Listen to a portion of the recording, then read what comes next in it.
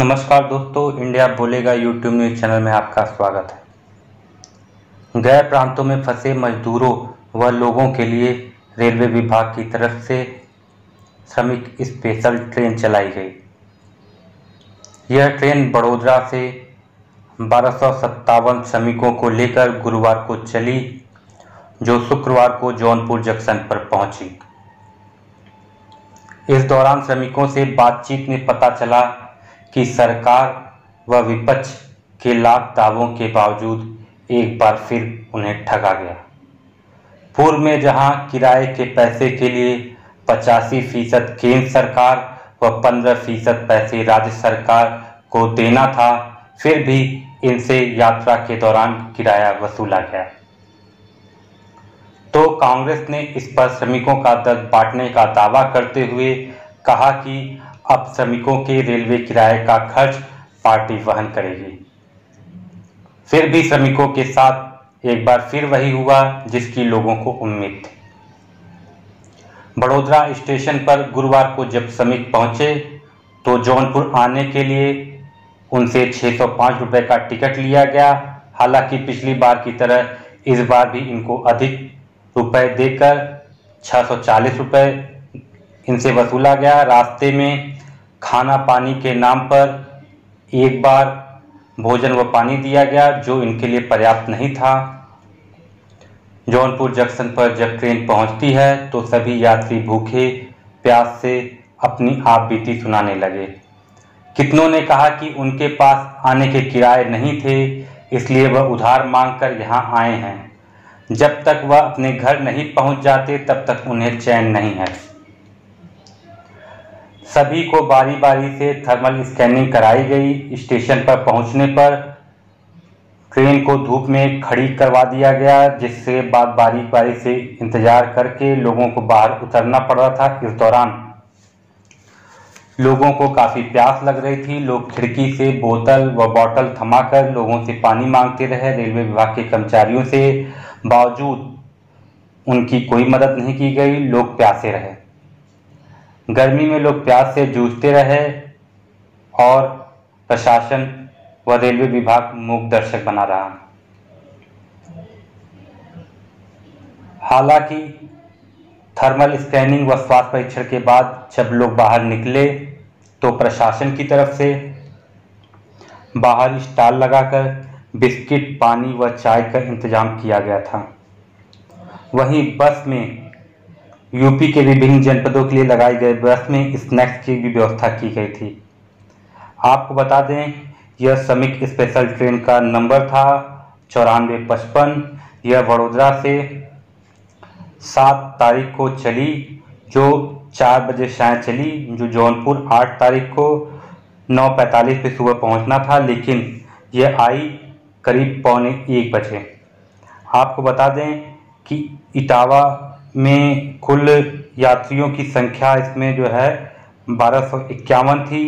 इटावा के इसमें तीन व्यक्ति थे, बस्ती के एक, वाराणसी के इक्कीस, बलरामपुर के दस, कानपुर नगर के सात, कन्नौज के एक, महाराजगंज के पाँच, हमीरपुर के पाँच, हरदोई के एक, प्रयागराज के 206 प्रतापगढ़ के इक्यावन, रायबरेली के 26 संत कबीर नगर नगर के एक फर्रुखाबाद के चार अयोध्या के बारह, जौनपुर के सात सौ उनतीस, सर्वाधिक इसमें जौनपुर के रहे।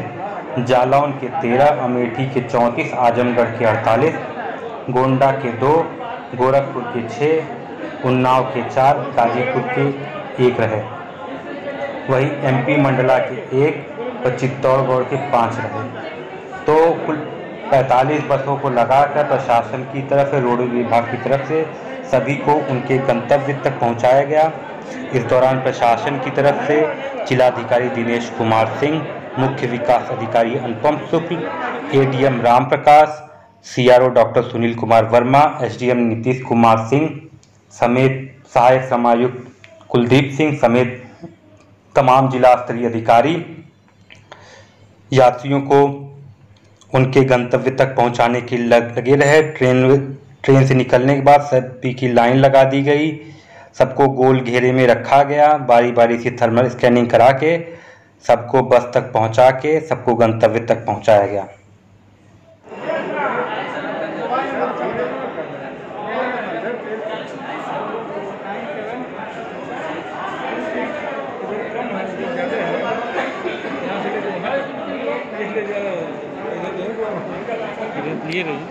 चलो वो नाश्ता ले वाला बस पे चढ़े हुए।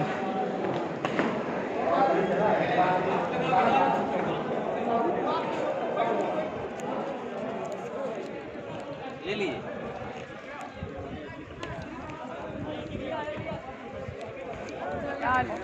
और सब बढ़िया है भाई?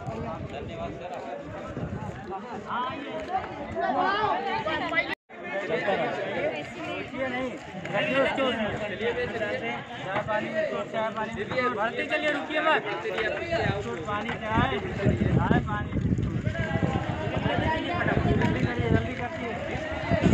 पूरी बना रही है चाय पानी लेते जाइए चाय पानी लेते जाइए चाय भी लीजिए आगे टैंकर है और उधर मत जाइए उधर चलिए बस चलता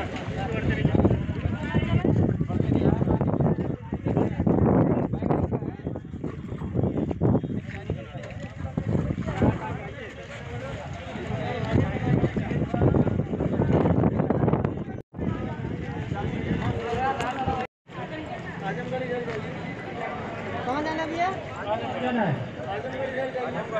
आजमगढ़ जयपुर ज़िले वाले घर जाए। नमस्ते कहाँ जाना आपको।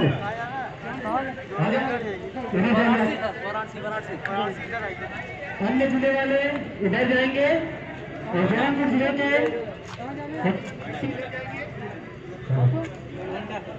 बना रहे हैं सब।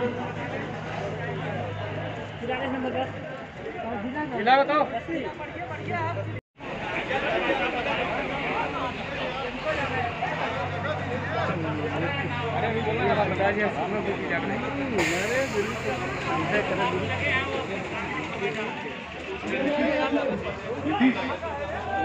तहसीलदार को बोल दो। पता है पता है पूरी व्यवस्था करा के आ रहा है।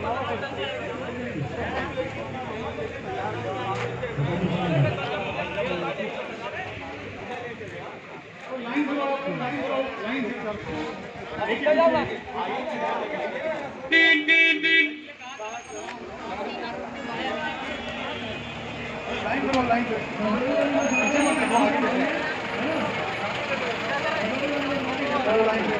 आइए बदलापुर? तो आगे आइए ना उधर भर गई आइए। इस वाली बस में जाओ ये वाली बस। हाँ ये इसके अगले वाले। तेरह वाला तेरह नंबर। इसमें इसमें। इस लाइन में खड़े हो जाओ। और थोड़ा दूरी बनाओ दूरी बनाओ।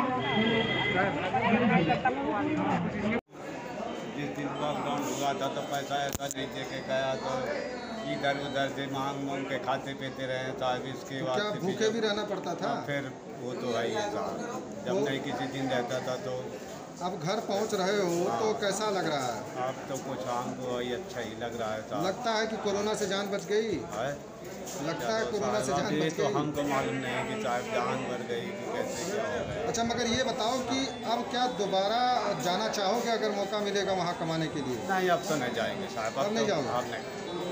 तो घर ही पे कुछ काम करना होगा? घर में खेती काम करेंगे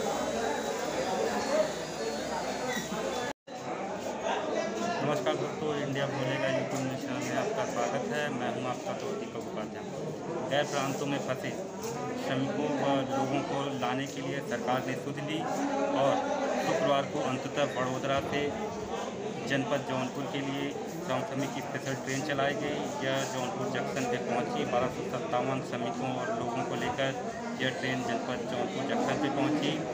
हम देख सकते हैं, इन श्रमिकों की सुरक्षा के लिए घेरे घेरे बनाए गए हैं। घेरे के बाद थर्मल स्क्रीनिंग करके उसका परीक्षण कराया जा रहा है बारी बारी से सबको उनके गंतव्य तक पहुँचाया जाएगा। बाहर स्टेशन के बाहर की लगाई गई है। हर ज़िले के हिसाब से उनकी संख्या को देखते हुए दो, तीन, चार बसें प्रत्येक ज़िले में लगाई गई हैं।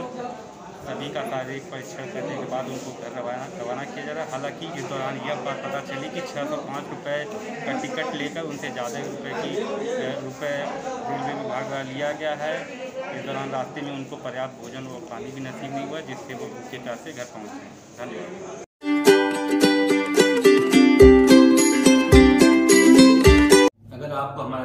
मीडिया बोलेगा अच्छा लगता है तो यूट्यूब पे जाके लाइक कीजिए सब्सक्राइब कीजिए कमेंट करिए शेयर करना